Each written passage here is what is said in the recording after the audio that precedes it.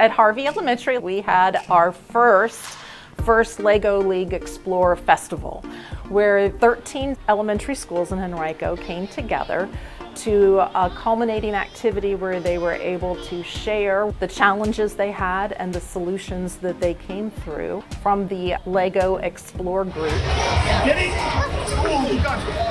My advice for you is to overcome any fears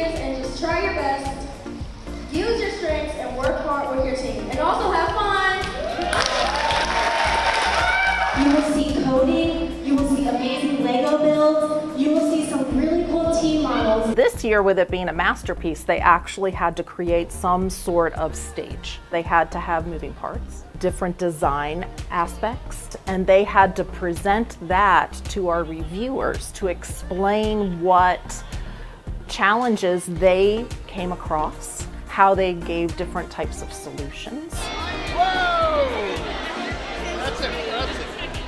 And the parts of the Henrico learner profile where they're really communicating and collaborating and using that creative and critical thinking skills while they're coding and designing.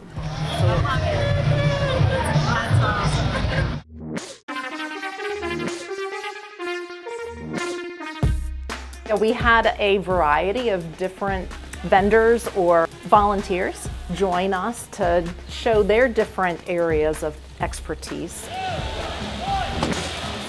The Deep Run High School Blue Cheese came with two of their big robotics, as well as a variety of hands-on stations that kids could do while they were not being reviewed. We had VSU, Virginia State University, they brought some VR goggles for students to be able to do. We had the amazing DJs of some of our ILCs that just had everybody dancing the whole time.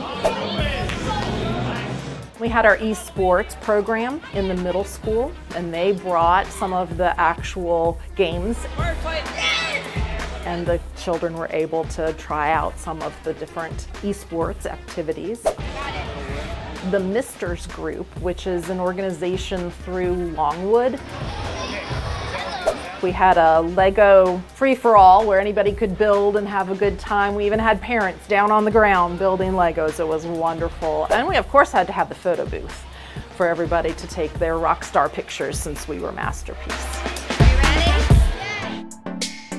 Our goal truly is to have a vertical alignment so that we have elementary students that are starting with that beginning understanding of coding and design all the way through experiences in the middle school and high school so that we're really creating that engagement, that excitement to come to school, and those life ready skills that they're going to need as they move forward.